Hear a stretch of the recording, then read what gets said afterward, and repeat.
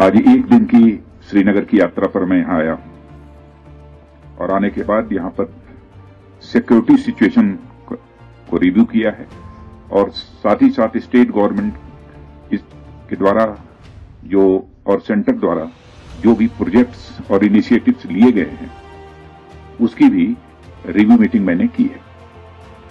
सबसे पहले तो यहाँ की स्टेट गवर्नमेंट को कांग्रेचुलेट करना चाहूँगा।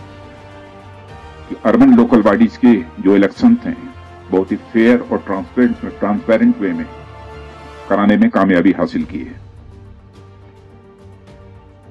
और मुझे यह जानकारी प्राप्त हुई है कि इलेक्शन के दौरान कहीं पर किसी प्रकार का कोई वायलेंस नहीं होने पाया।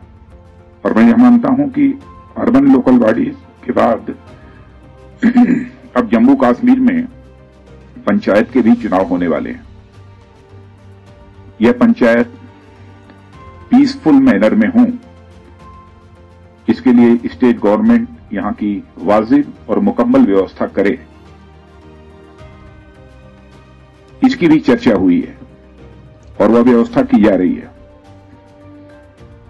और इस प्रकार के जो अर्बन लोकल बॉडीज के चुनाव हुए हैं और जो पंचायतों के चुनाव होने वाले हैं, मैं समझता हूँ कि यह जम्मू कश्मीर की हिस्ट्री में एक गवर्नमेंट के द्वारा उठाया गया कि हिस्टोरिकल स्टेप हो। पहली बार डिवोल्यूशन ऑफ़ पावर के तहत बड़े पैमाने पर जम्मू कश्मीर और लद्दाख के रहने वाले लोगों को इंपावर करने की कोशिश की जा रही है। इसका नतीजा यह है कि जम्मू कश्मीर के हर गाँव पंचायत के विकास के लिए हर साल कम से कम 60 से लेकर 70 लाख रुपए खर्च किए जाएँगे।